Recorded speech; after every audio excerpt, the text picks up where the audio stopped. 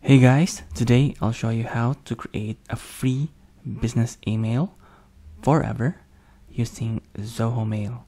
So what you need are number one, a personal email, so like Gmail for instance, and of course your domain so that you can use your uh, company.com as your email domain so let's get started. So go to zoho.com and I'll put a link on the description down below so that you can click the link. So do not choose personal email because it will lead you to at zohomail.com so we will use a business email. So let's say web shanks. So I will put my personal email here and a password. So let's use a secure one. I'll copy this one.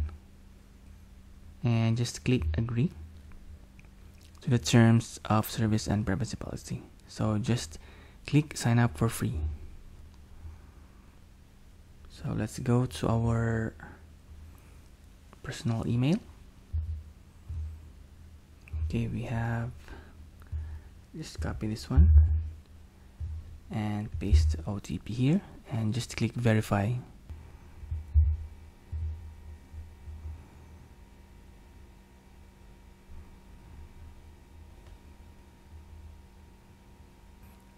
And just scroll down. Just choose a free plan so just click try now.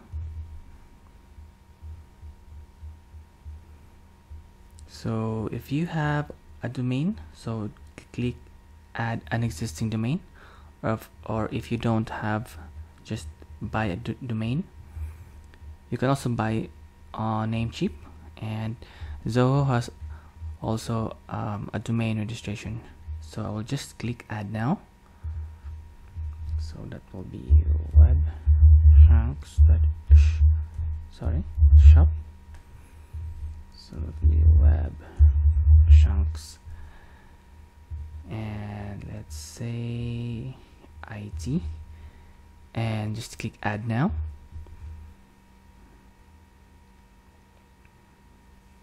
So let's click proceed to domain verification.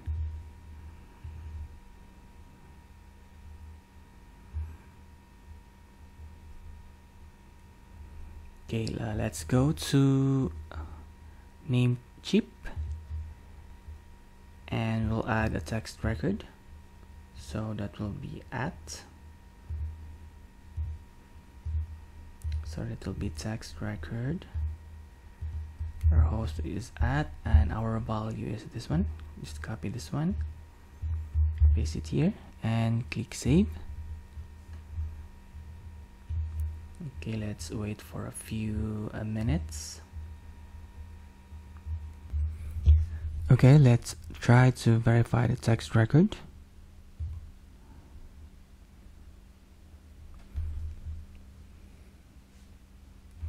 And we need to set a super administrator email. So I'll just say hello. And just click rate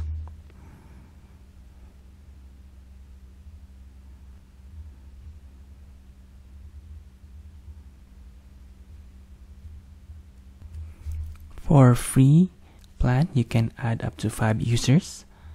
And we will not add one for this because I, I'm just only one. But if you want to add more just click add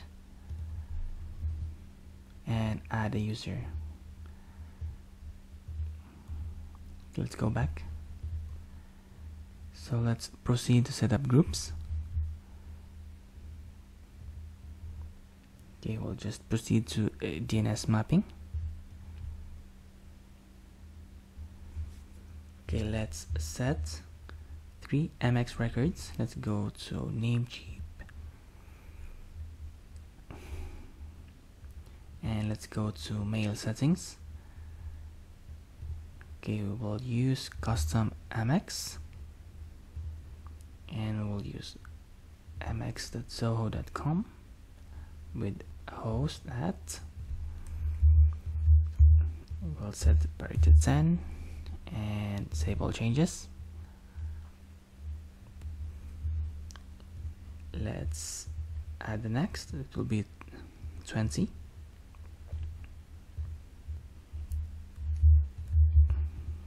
20 save. Another one it will be okay sorry that will be 50 click save. Next we will add an SPF record. So that will be a text record. We'll go to add new record. That will be text record. It will be add. So we'll just copy this one. Paste it here and click save and another text record it will be a DKIM and it will be a text record. Text record. Uh, sorry it will be Gmail copy the value and just click save changes. You will wait for a few minutes and we'll uh, verify all records okay let's verify all records.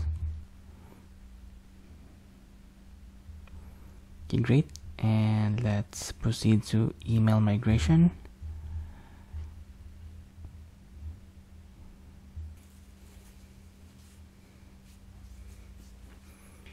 You can skip this part if you don't have any existing emails from others uh, service provider like uh, workplace.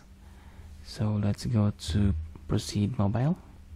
And we'll we can set this one up if you, if you want to use uh, your um, business email to be on your mobile. And you can just click here to download uh, Zoho's mobile apps. But if you don't want to use the mobile we will proceed to setup completion. And let's go to okay let's go to our inbox first.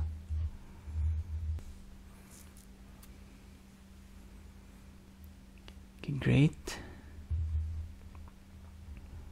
Okay we'll just skip this one. Okay let's try to send an email to our gmail. So let's shanks one at gmail.com hello. Hi. Okay.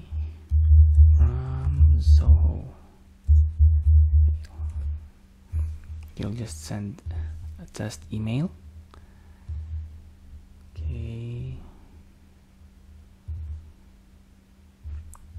we have received the email from from our uh, Zoho mail. So if you want to add another inbox you can create up to five inboxes up to 5 gigabyte per inbox. So if you want to add another inbox go to my profile and go to admin console just close this one.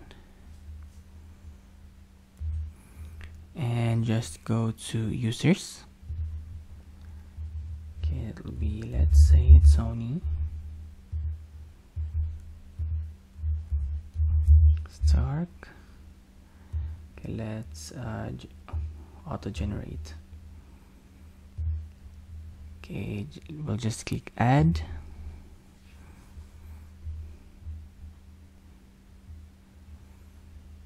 okay great. Now we have two users with different emails. So before anything else this free business email is intended for transactional emails. You cannot use this one for cold emails or even for spamming. So this is the limit for free um, Zoho Mail business email account also you cannot have IMAP and POP3 protocols for free plan. And that's it. That is how you will create and set up a business email using Zoho Mail forever.